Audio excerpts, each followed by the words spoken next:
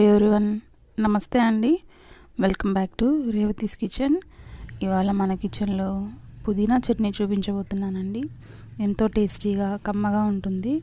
వేడి వేడి అన్నంలోకి ఈ ఒక్క చట్నీతోటి మొత్తం తినేయచ్చు. అలాగే వేడివేడి ఇడ్లీలో కూడా చాలా టేస్టీగా ఉంటుంది. ఈ పుదీనా చట్నీని ఎలా తయారు చేయాలో చూద్దాము.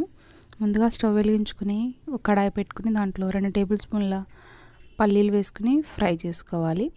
ఆయిల్ వేసుకోవాల్సిన అవసరం లేదండి. డ్రై రోస్ట్ చేసుకోవాలి. ఇవి ఇలా కొంచెం కలర్ మారిన తర్వాత వీటిని తీసుకుని ఒక ప్లేట్లో పక్కన పెట్టుకుని చల్లార్చుకోవాలి. ఆ తర్వాత అదే ప్యాన్లో ఒక స్పూన్ ఆయిల్ వేసుకుని ఒక పది పచ్చిమిరపకాయలు తుంచుకొని వేసుకోవాలి. అలాగే ఆరు నుంచి ఎనిమిది వెల్లుల్లిని పొట్టు తీసి వేసుకుని వీటన్నిటిని చక్కగా ఫ్రై అయ్యేంత వరకు ఇలా ఫ్రై చేసుకుని వీటిని కూడా ఒక బౌల్లోకి తీసుకుని పక్కన పెట్టుకోవాలి. ఇప్పుడు అదే కడాయిలో రెండు పిడికిళ్ళ వరకు పుదీనా ఆకులను తీసుకుని శుభ్రంగా కడిగి ఇలా వేపుకోవాలండి వాటిని.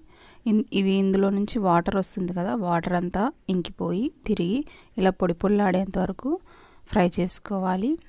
ఇలా ఫ్రై చేసుకున్న పుదీనా ఆకుల్ని తీసి ఒక ప్లేట్లోకి పెట్టుకుని వీటిని కూడా చల్లార్చుకోవాలండి. ఇక్కడ రెండు కట్టల పుదీనాను తీసుకున్నాను నేను.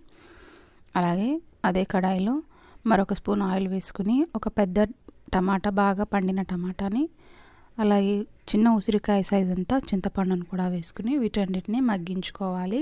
ఇది మూత పెట్టైనా సరే లేదంటే మూత పెట్టకుండానైనా సరే మగ్గించుకోవాలి. మెత్తగా గుజ్జులాగా అయ్యేంత వరకు ఇలా గుజ్జులా అయ్యేలా మగ్గిపోయిన తర్వాత స్టవ్ ఆఫ్ చేసుకుని దీన్ని కూడా చల్లార్చుకోవాలండి. ఇప్పుడు మనకు కావాల్సినవన్నీ ఫ్రై చేసి పెట్టుకున్నాం కదా. ఇప్పుడు ఒక మిక్సీ జార్ తీసుకుని ముందుగా ఫ్రై చేసి చల్లార్చుకుని పొట్టు తీసి పెట్టుకున్న పల్లీలను వేసుకుని ఒకసారి గ్రైండ్ చేసుకోవాలి. ఇవి మెత్తగా గ్రైండ్ అయిన తర్వాత దీంట్లోకి ముందుగా వేయించి పెట్టుకున్న పచ్చిమిర్చి వెల్లుల్లి వేసుకోవాలి. అలాగే వేయించి పెట్టుకున్న టమాటా చింతపండు గుజ్జును కూడా వేసుకోవాలి. వీటితో పాటు ఫైనల్గా వేయించుకున్న పుదీనా ఆకుల్ని కూడా వేసుకుని మిక్సీ పట్టుకోవాలండి.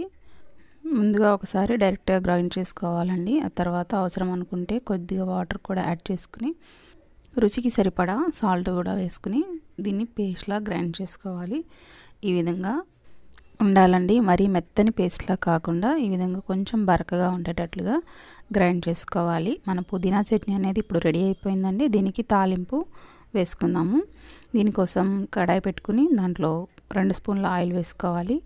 ఒక స్పూన్ మినప్పప్పు ఒక స్పూన్ పచ్చెనపప్పు పావు స్పూన్ జీలకర్ర పావు స్పూన్ ఆవాలు అలాగే రెండు ఎండుమిర్చిని చీలికలుగా చేసుకుని వేసుకోవాలి.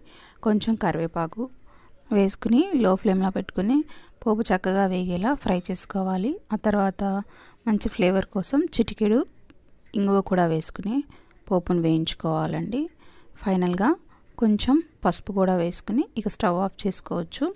స్టవ్ ఆఫ్ చేసుకుని ఈ పోపులో మనం ముందుగా రెడీ చేసుకున్న పుదీనా చట్నీని కూడా వేసి అంతా బాగా కలిసేలాగా మిక్స్ చేసుకుని దీన్ని ఒక బౌల్లోకి సర్వ్ చేసుకున్నట్లయితే ఎంతో టేస్టీ అయిన పుదీనా చట్నీ అనేది రెడీ అయిపోయిందండి. ఈ రెసిపీ మీకు నచ్చిందా? నచ్చినట్లయితే లైక్ చేయండి షేర్ చేయండి. అలాగే తప్పకుండా సబ్స్క్రైబ్ చేసుకుని సపోర్ట్ చేయండి ఫ్రెండ్స్. Thanks for watching.